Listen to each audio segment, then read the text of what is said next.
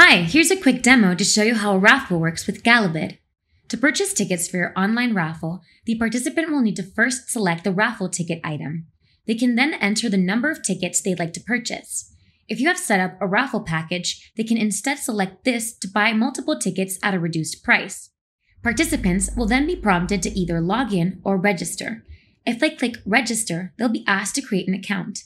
They can do this by using their Google or Facebook account, or they can create one manually by completing the form. This form can be customized during the raffle setup. The participants will then be sent a verification code to their email address, and they will need to enter this to complete their registration. After registering, the user will need to enter in their card details and then confirm their purchase. As soon as the raffle purchase is completed, the participant will receive an email, which will contain a link, which once followed will display the raffle ticket numbers. Raffle tickets can also be accessed under the My Account section on the left hand side menu. The raffle must be closed for purchases and then drawn. As soon as this happens, the winner will receive a notification and the winning ticket number, and the name of the winner will be shown on the raffle leaderboard display.